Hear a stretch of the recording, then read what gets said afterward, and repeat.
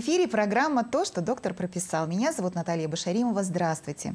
Сегодня в программе мы решили полезным, нужным поговорить о донорстве, потому что иногда мы не задумываемся над тем, кому нужна донорская кровь.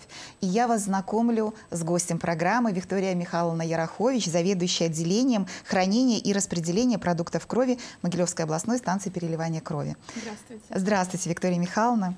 Сегодня будем говорить о таком очень э, полезном, очень нужном, очень э, вообще важном аспекте, да, как донорство, сдача крови, потому что действительно мы не задумываемся, что тысячи людей иногда нуждаются в крови.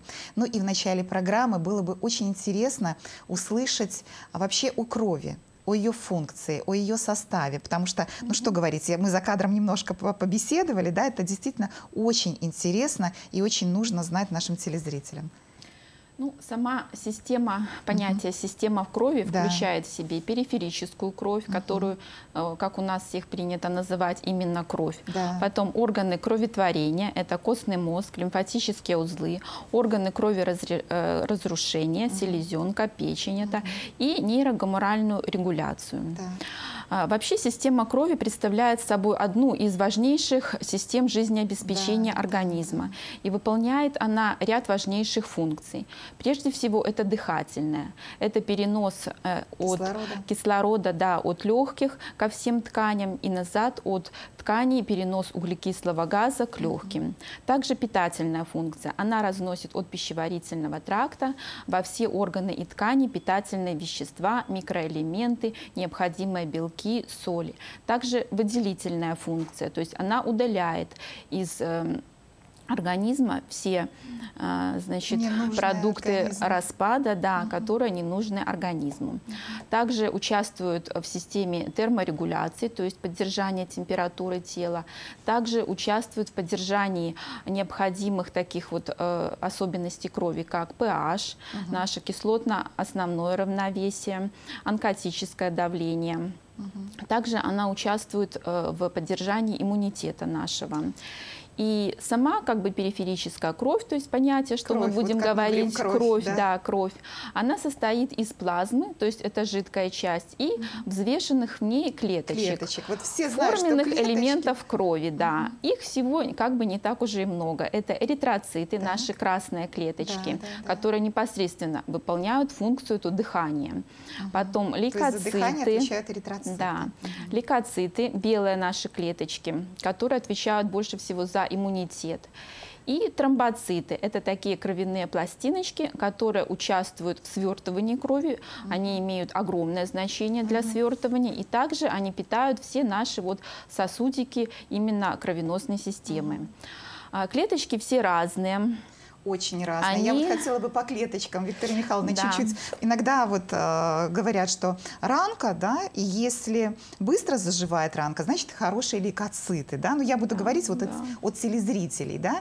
То mm-hmm. есть вот э, именно вот эта клеточка хорошо работает крови. Вообще mm-hmm. настолько важная, настолько ну, важная. Надо сказать, что все клеточки у нас образуются в костном мозге mm-hmm. в основном, mm-hmm. так. И родоначальником всех клеточек является именно стволовая клетка. Mm-hmm. И Э, постоянно у нас в организме э, значит, происходит самообновление этих клеточек. Ну, Они, ну, потому что э, есть информация, что каждые две секунды гибнут клетки крови. Это правильная да. информация или нет? Потому информация что, вот я правильна. Даже Одни себе. клеточки гибнут, а другие взамен секундочку. выходят в кровеносное русло. Так. Именно из органов кроветворения. В норме этот процесс происходит постоянно, и в кровеносное русло уже выходят здоровые клеточки. Угу. Эритроцит, например, живет он дольше всех у нас нас где-то 120 дней, то есть это 3, 3 месяца, да. Так. Лейкоцит – это короткоживущая клеточка, живет в среднем 2-5 дней. И угу. тромбоцит тоже короткоживущая клеточка, живет только до 7 суток, от угу. 2 до 7. То угу. есть и вот постепенно эти клеточки, ну, конечно, не все сразу, а да, а по да, очереди, да, да угу. они отмирают, и новые выходят Ну, идет кровь. постоянный процесс обновления постоянный в костном процесс, мозге. Да, да. Угу. А где это все происходит? Вот костный мозг, где это? А, Потому костный что многие... мозг у нас находится, да. да, э, в костях. Это грудина, э, тазовые кости, э. В общем, во всех... Реберная. Ребра. Почему задаю этот вопрос и уточняю? Потому что очень многие а, костный мозг принимают вот за спиной мозг. То есть вот костный Нет, мозг это только... совершенно разные это вещи. Вот, да, да, где да. кровь, а, как сказать, обновляется, да, а, рождается. Вот эти клеточки да. обновляются каждые два дня, каждые семь дней, каждые 120 дней. Э, этот процесс идет постоянно угу. и непрерывно. Угу. И то есть организм сам замещает. Все клеточки же сразу не погибают. Да, да, то да, есть да, они да. постепенно, постепенно уходят одни, тут же им взамен приходят другие. Угу. И в норме этот процесс значит, ну, проходит постоянно.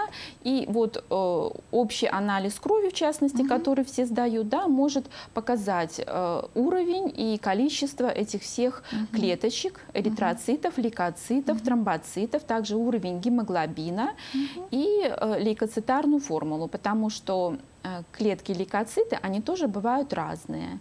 Лимфоциты, моноциты, нейтрофильные, сегментоядерные, угу. палочкоядерные. Ой, вот там такие все, вот. там очень все Да, тонко. различные. И по, в норме, значит, анализ будет ну, у здорового человека. Да, вот общий анализ крови всегда нам нужно сдавать, даже при простуде, да, чтобы все вот это прочитал доктор, а, что происходит. Даже не только при простуде, всегда хотя бы раз в год, да, вот. для диспансерного наблюдения да, обязательно нужно, нужно потому что иногда анализа уже может э, показать какие-то отклонения, а человек, человек еще будет себя абсолютно прекрасно чувствовать. Угу. Да. Мы немножечко в сторону идем, но это тоже очень важный момент по поводу, э, если раз в год сдавать кровь, там действительно очень много доктор может прочитать проблем, о которых человек даже не предполагает. Да, Поэтому да. тут важно даже не в сфере, э, не в связи с донорством, да, говорить. Да, не даже не в связи с а донорством, а просто, а просто ради своего здоровья, здоровья да, угу. ради угу. надо сдавать угу. обязательно один раз, как хотя бы один раз в год да. общий анализ угу. крови. Да.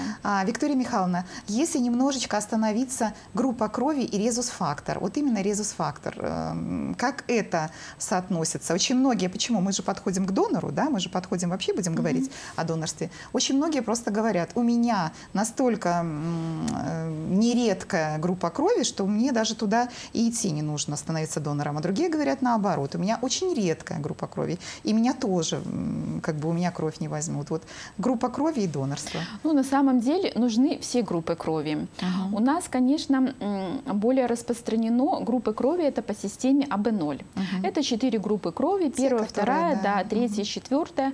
А, система а, группы крови – это результат наследования генов угу. у человека от родителей, от мамы и папы. Резус-фактор – это еще одна система, то есть так. есть э, резус положительный и резус, резус отрицательный. Они, например, как есть в первой группе э, люди резус положительный, так, например, и первая отрицательная. То есть, в общем-то, для всех известно ну, и более на слуху, например, первая положительная, первая отрицательная. А вторая положительная? Ну, вторая, вторая положительная. То есть, то есть из каждой группе, группе да, угу. в каждой группе есть угу. как бы и как положительная, так и отрицательная. И доноры нужны абсолютно всех групп. То есть это заблуждение, что у меня редкая кровь или наоборот Нет, очень э, популярная? Есть группы, которые более распространенные. Угу. У нас, например, в Беларуси более распространенная где-то вторая все-таки группа. Да? Она почти одинакова с первой. Ну, где-то угу. порядка по 37, если там процентов угу. общей популяции. Вторая группа и там 36, может быть, процентов – это первая группа. Угу. Потом идет процентов 20 – это люди с третьей группой. Вот, и самая, редкие. конечно же, редкая – это четвертая группа угу. крови. Ну, соответственно, вообще в целом э, резус положительных э, людей где-то порядка 85%. То, То есть отрицательные 15, редкие? Да, редкие, да, отрицательные угу. это редкие. А если отрицательный Поэтому... четвертый, то он вообще редчайший экземпляр. Четвертая группа для службы крови вообще она сложная Сложно? по своим, да, угу. по своим уже особенностям, которые угу. это уже не для всех, да, так да, сказать. Да. Вот, поэтому, э, конечно, срезу с отрицательными таких Э, людей мало, и угу. доноров таких мы хотим видеть еще больше. Вот, видите, первый миф, который гуляет да. Э, в интернете, мы уже с вами развеяли. То есть не нужно говорить, что у тебя редко и тебя не возьмут, или у тебя очень... Возьмем всех. Возьмем всех? Ну, в общем-то, Виктория Михайловна, вот э, донор, кто он? Я почему сейчас буду спрашивать? Возраст, это 35 лет, это 50, это 18. Мужчины, женщины. То есть вот есть ли вот в этом градация? Пока не по здоровью, пока мы не подходим вот к анализу крови угу. и полному обследованию. А вот э, статистика. Ну, вообще, согласно закону о донорстве, э, человек от 18 до 60 лет может быть донором. Угу. Ну, по нашей статистике в среднем где-то это примерно половина женщин и половина мужчин. То есть вы не, не То есть и они, Нет, мы не отсеиваем. Это люди совершенно разного возраста, совершенно разных профессий, религиозных убеждений, угу. социального уровня. То есть абсолютно, да. Кровь. Главное, чтобы было желание помочь другим людям угу. дать кровь. Угу. Виктория Михайловна, мы обязательно продолжим нашу интересную беседу. Сейчас посмотрим сюжет, снятый по нашей теме, ну а потом продолжим беседу. Смотрим.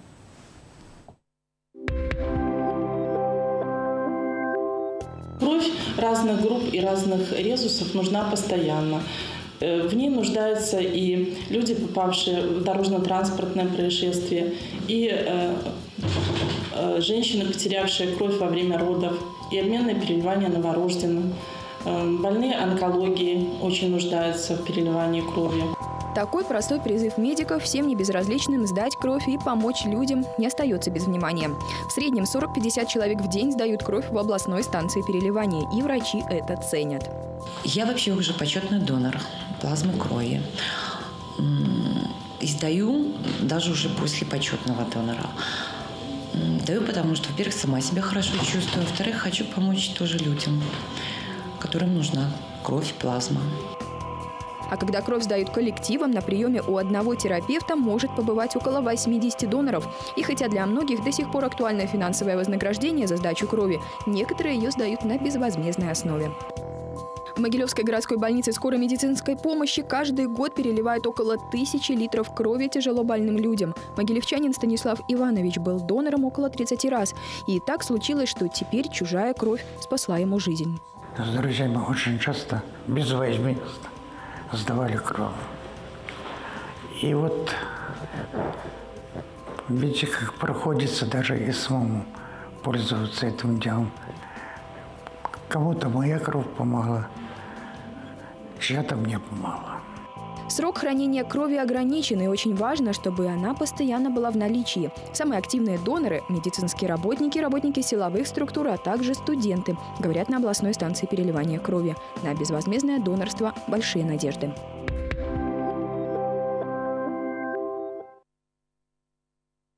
Вот мы вместе, да, посмотрели сюжет, мы обязательно вернемся к безвозмездному донорству, да, поговорим, кому нужна кровь. Но я хочу просто, чтобы мы закончили э, тот именно вопрос, да, который перед сюжетом прозвучал, мужчины и женщины. Почему я акцентирую на женщинах? Потому что, опять же, есть информация, что женщины с отрицательным резусом крови, рожавшие, могут абсолютно спокойно помочь э, девочкам, которые да. собираются рожать с отрицательным резусом. Вот такая информация. Да, иногда Тоже редкая. у женщин, которые имеют резус отрицательную э, принадлежность, угу.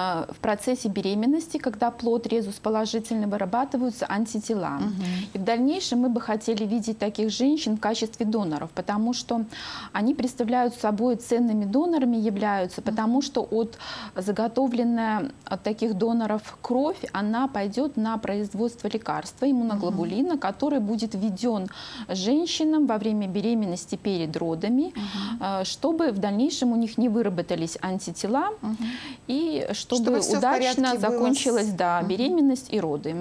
Но опять же, это не каждая женщина, то есть пойдет все равно проверка, да, вот как э, каждого донора идет проверка, конечно. анализ крови. Виктория Михайловна, кстати, давайте мы поговорим, вот как э, выбирают потенциального донора. Ведь это же не только общий анализ крови, тут же, наверное, а, другой Нет, немножечко не подход. только анализ крови. К нам доноры приходят с документом, удостоверяющим личность, то есть uh это паспорт.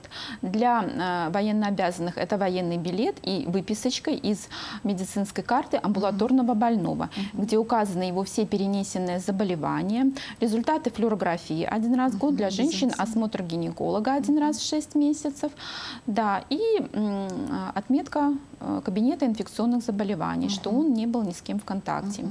И при так, а, значит, с этими документами донор приходит в регистратуру, и его там проверяют по единой базе доноров, угу. которая у нас имеется там списки доноров, э, которым нельзя и никогда будет нельзя сдавать кровь. А, Это данные из э, есть. центров гигиены, эпидемиологии, угу. из наркодиспансера, кожвендиспансера и тубдиспансера. Угу. Да, и только после предварительной проверки, что донор не имеет данных заболеваний, он допускается к дальнейшей значит, процедуре. Угу. Но это хронические серьезные заболевания, да? Да, это которым... хронические серьезные угу. заболевания. К тому же по нашим нормативным документам существует целый перечень заболеваний и состояний, при которых сдача крови противопоказана постоянно и временно. Угу. Ну, ну, постоянным, да, противопоказанием, конечно же, относятся заболевания гепатитами, да. которые могут да, передаться через кровь, заболевания ВИЧ-инфекции, тот же туберкулез, такие угу. же хронические заболевания, как ишемическая болезнь сердца. Тоже противопоказано. Да, да. артериальная гипертензия третьей степени уже тоже является, угу. хотя в древности лечили кровопусканием, да, повышенное да, да, давление. Да, да, да. Сахарный диабет, бронхиальная астма. Ну, противопоказания. То есть э, э, перечень достаточно обширный. Угу. Ну, а также имеются временные противопоказания. Например, когда человек сделал операцию, ему 6 месяцев тоже нельзя сдавать угу. кровь. Или даже сделал эндоскопическое обследование желудка. Тоже, нельзя, да? тоже да, по сегодняшним нормативным документам угу. он не может ну, в течение чихает, 6 конечно. месяцев. Если он чихает, ну, конечно, уже, да, да. Если даже он собрался простуда. идти сдавать, но вдруг он почувствовал да. себя утром лучше. плохо, мы всем говорим донорам, не идите. Да, лучше перенести. Да, нужно перенести обязательно. Угу. Нельзя приходить, если чувствуешь какое-то недомогание. Угу. Но опять же, постоянные доноры и те, которые а, один раз придут сдать кровь, да, а, то есть постоянные, ну, у вас они, у вас, наверное, с ними связь большая, да, то есть вы, вы их всех знаете и, наверное, предпочтение отдаете все-таки э, таким людям? Ну, предпочтение, Или вот здесь я, наверное, конечно... не права, некорректно. Наверное, предпочтений нет, если человек ну, хочет сдать кровь. Вообще, да, если человек сдать, mm-hmm. хочет кровь, он может сдать ее один да, раз в год, да, один раз, два раза да, в год. Да, Это да. желание. Но, конечно же, предпочтительнее иметь постоянных доноров, потому что, опять, мы прежде всего беспокоимся за безопасность донорской крови. Да, Постоянный да. донор считается более безопасным, потому что он лучше осведомлен, осведомлен да, да. о... Он уже знает э, все тонкости. Да, о том значит, образе жизни, угу. который он должен вести. Курение исключается, алкоголь исключается. Алкоголь нужно исключить за угу. трое суток. Даже включая слабоалкогольные напитки. Курение исключить, да, с утра до донации нельзя курить. А я бы вот в программе сказала, нельзя курить. Даже там за две недели. Пусть вот ну, если решили сдать Желательно пусть никто не курит. Ну да, желательно еще тут Давайте мы поговорим, а, на та, вот такой момент осветим.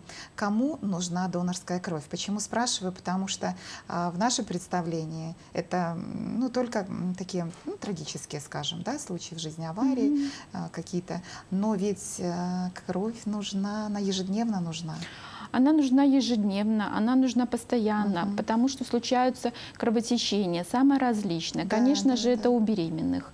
То есть во время родов случается, да. и во время беременности случается. И даже случается, вот когда, опять же, этот резус-конфликт, и он угу. развивается, когда у новорожденного ребеночка э, гемолитическая болезнь новорожденных, ему нужно полностью заменить его да. кровь на донорскую. Такую тоже э, периодически случается. Также иногда Э, вроде бы здоровый человек узнает о том, что у него язвенная болезнь, да, двенадцатиперстной кишки, только когда попадает с кровотечением в больницу. Тоже Также, да, Ой, сейчас да. проходит очень много операций высокотехнологичных на сердце, а, по замене суставов. Это все требуется большого количества крови.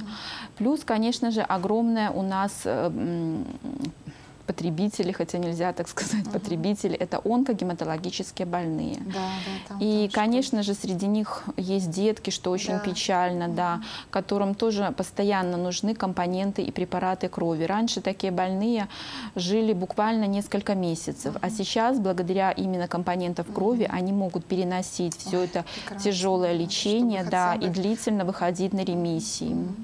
А есть ли такой момент сегодня, да, есть социальные вот эти ролики, да, а, деткам помочь. Угу. И вот сейчас, благодаря вот вашей информации, очень многие узнали, да, угу. кому нужна кровь. Это, это просто очень нужная информация.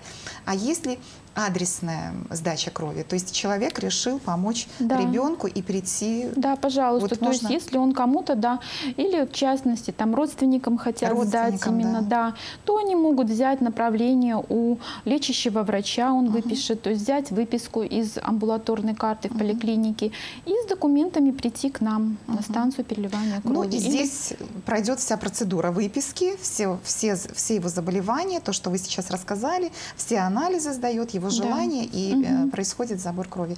Вот сейчас вот как раз-таки я бы хотела, опять же, без э, высокопарных слов, без пафоса, без лишних каких-то там э, высоких предложений, вот это вот безвозмездное донорство. Мне кажется, что сегодня, опять же, может быть, я заблуждаюсь, мне кажется, что сегодня уже люди действительно приходят, а вас послушав, тем более, что вот кому-то она спасет жизнь, кому-то продлит, кому-то поможет. Вот, вот это вот безвозмездное. Много людей приходят? Э, да, у нас уже процентов около 25 сегодня, угу. на сегодняшний день безвозмездных кроводач. Люди более как бы ну, с пониманием относятся к данной проблеме, тем более, что у нас в республике активно развивается пропаганда безвозмездного угу. донорства. И э, ну, к 2020 году, да, есть такое, что хотят перейти люди сами на безвозмездное приходят, люди донорство. Сами приходят и хотят стать. Люди сами приходят. Очень в этом году э, большую активность проявили медицинские работники всех ну, учреждений. Да, здесь, мне кажется, это даже правильно. Вот мне кажется, это очень правильно. Ну, поэтому да. они и проявили, да. да, акции у нас были и среди медицинских сестер, и среди э, врачебного состава, угу. младшего э, медицинского, угу. значит, состава. Э, по весне и к дню донора к нашему угу. тоже все принимали участие, то есть угу. большое количество. Также Молодцы. сотрудники органов, да, у нас институт МВД ну, парни, наш, ребята бравые, да, правда? активно принимает участие. Военная часть, да, сотрудники МЧС, угу. департамента охраны. Угу. Вот а, теперь, знаете, очень хочу а, к такому вопросу, чтобы не было страха, чтобы не было боязни, просто а, чтобы вы рассказали о процедуре самой, да, сдачи крови. Как это происходит? Это происходит почему-то утром, да, расскажем, почему утром. Это происходит не в выходные дни, в будние дни. Ну, вообще, как, как человек себя чувствует? Очень многие боятся, что вот, а вдруг я упаду в обморок, Хотя мне кажется... Ну, почему утром? Потому угу. что, да, забор крови происходит в утренние часы, угу. а, потому что утром считается, что организм э, легче перенесет кроводачу. А, угу. Да, сама угу. процедура кроводачи занимает до 10 минут. Укол в вену практически безболезненный. То есть угу. укол в палец достаточно более да, болезненный, да, да, тут я с вами тоже чем укол именно да. в вену. Поэтому мы продолжим обязательно, Виктория Михайловна, вот э, с, с этого же самого момента, но сейчас еще несколько полезных рекомендаций смотрим.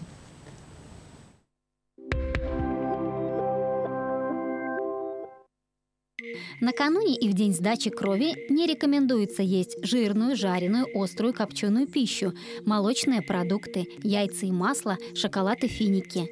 Натощак сдавать кровь не нужно. Лучше пить сладкий чай, соки, морсы, компоты, минеральную воду и есть хлеб, сухари, сушки, отварные крупы, макароны на воде без масла, овощи и фрукты, кроме бананов. За 72 часа нельзя принимать лекарства, содержащие аспирин и анальгетики. Утром нужно легко позавтракать, а непосредственно перед процедурой донору положен сладкий чай. Врачи установили, что лучше всего на кровопотерю организм реагирует в утренние часы, и чем раньше происходит донация, тем легче переносится эта процедура.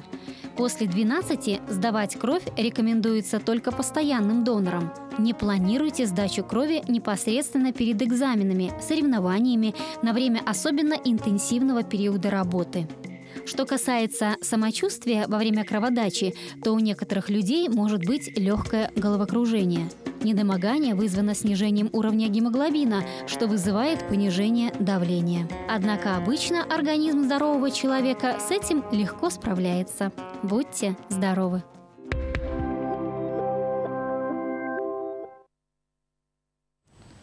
Виктория Михайловна, еще немножечко есть времени. Я просто хочу задать вопрос, в какой дозе э, берется кровь, чтобы, опять же, почему-то, ну, мне так кажется, мужчины более трусливы, чем женщины. Ой-ой-ой, простите меня, мужчины, пожалуйста. Но почему-то они именно спрашивают, в какой дозе, не станет ли мне плохо, какие ощущения. То есть женщину, наверное, волнуют немножко другие вопросы. Так вот, э, в какой дозе и не станет ли плохо человеку, донору? Доза стандартная кроводачи – это 450 миллилитров плюс-минус 50 без uh-huh. Учета э, консерванта. Uh-huh. Доза рассчитана а, такая, что плохо от нее никак не станет. Вот, ощущений таких не будет, но на всякий случай в медицинском же учреждении находится человек. Ну, То есть не бывают обмороки, да, случаются, а, да, но это не от того, что как бы такую, такую дозу он сдал, угу. а от того, что пере... он очень сильно боялся, перебоялся, пере... да, перебоялся. Перебоялся. Перебоялся, да. Вот, да, существует донорство крови и донорство плазмы. Угу. Вот. Разные, До, да. Доноры крови сдают цельную кровь, угу. а доноры плазмы сдают непосредственно жидкую часть, это плазму, угу. и им возвращают вот все клеточки, форменные элементы эти, ну, в частности, да. красного цвета, да, да эритроциты, да. им возвращают назад. То есть при э, заборе плазмы средняя доза такая 600 мл плазмы за а, один раз. Угу.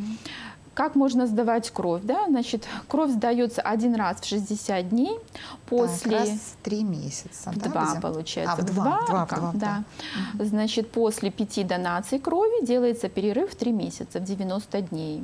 Это, это для постоянных, да? Вот кто хочет стать ну донором? Ну, да, это кто планирует регулярно месяца, сдавать кровь, угу. да. Угу. Доноры плазмы у нас сдают раз в 14 дней, то угу. есть каждые две недели. Угу. Через 5 донаций плазмы, значит, дается перерыв в месяц. А, ну, то же самое, да, через 5, как кровь, так и плазма. Через 5 донаций дается отдых на передышку, угу. да, на восстановление. Да, на восстановление. На восстановление. А сколько сама процедура по времени длится? Вот такой вот прикладной вопрос. Забор крови непосредственно буквально до 10 минут. Сама это процедура быстро. забора. Это, это очень быстро, быстро, это да. Быстро. Время занимает, ну, немножко анализы предварительные, угу. да, потом да. осмотр терапевта, угу. потом донор при допуске врача проходит в буфет, получает донорский завтрак. Угу. Это чай, да? Чай? Э, нет, чай? это не чай, Нет? это два пакетика сока на сегодняшний день. Это зефир, угу. гематоген, Ой, прекрасно. печенье. Угу. Но несмотря на то, что процедура 10 минут, это действительно занимает не 10 минут, потому что и анализы, и проверка. А. И, в общем-то, я так думаю, что... Ну, и я знаю, что выходной день положен, да, донору, когда он... Да, это... да. В день дачи крови донор освобождается от работы с сохранением за ним среднедневного заработка. Угу. А также ему предоставляется еще один дополнительный день отдыха, который он может взять по согласованию с нанимателем. Даже к отпуску, э, наверное, Даже к отпуску, да, или в любой другой день. Угу. Ну, а почетные доноры? Все-таки есть постоянные доноры, почетные доноры. А они как-то у них немножечко по-другому или тоже вот эти же два дня? Вот все то же самое? Нет, э, при сдаче здесь не имеет значения, угу. почетный донор или просто угу. он новенький, первый раз сдает. Угу. Это гарантии предоставляются всем одинаковые. Понятно, просто почетный донор, он уже ну как сказать, он готов, он всегда, он знает вот эти тонкости, да, которые ну, нужны. Ну, почетный он... донор, сейчас он называется гоноровый донор гоноровый, Республики Беларусь, да, да. это нужно сдать определенное количество раз. Угу. Это 40 угу. раз нужно сдать кровь О, да, или 80 раз сдать плазму. Это если на возмездной основе. Угу. Если на безвозмездной, то значит соотношение 1 к 2. Угу. Это 20 раз безвозмездно кровь угу. и 40 раз безвозмездно плазму. Угу. А, Виктория Михайловна, очень внимательно я вас слушала, потому что очень много новой информации. Я уверена, наши телезрители очень внимательно вас слушали, потому что где-то вот, э, скажем так, в центре нашей программы была такая информация по поводу, кому нужна. Вот это адресная, да, адресная mm-hmm. передача крови. Это очень важно и вообще очень много сегодня таких тонкостей очень нужных для, ну, скажем так, душевной организации человека. Спасибо вам огромное. И еще один важный момент. Возьмите, пожалуйста, на заметку.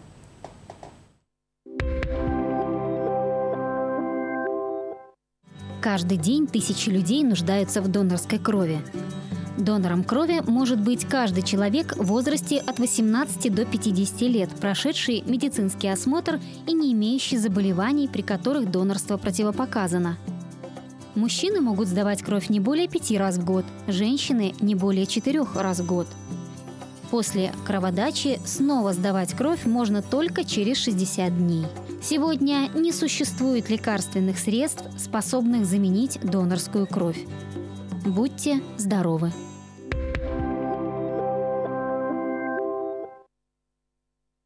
Виктория Михайловна, огромное вам спасибо, что вы приняли участие в программе «То, что доктор прописал» и поделились такой очень важной информацией. Спасибо.